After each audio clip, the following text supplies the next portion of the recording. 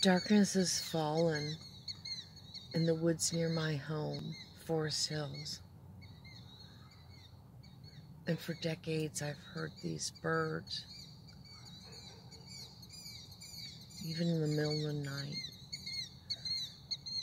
I don't know what they're called. I want to call them sandpipers.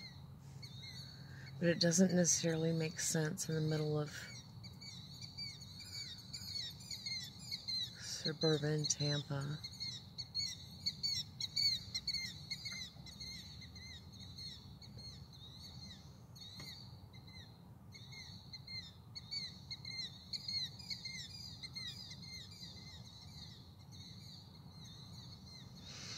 I've heard them in the middle of the night all through the year.